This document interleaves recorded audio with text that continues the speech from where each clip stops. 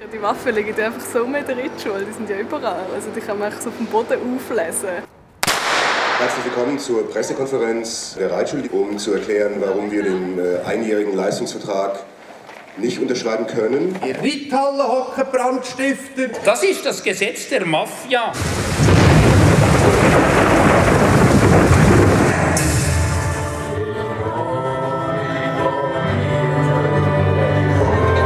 rein äußerlich hat sich nichts geändert.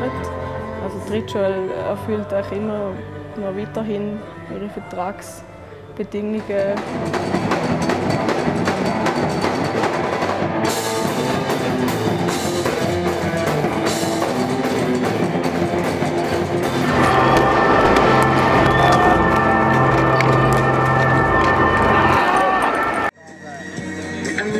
Pas de choses aussi peu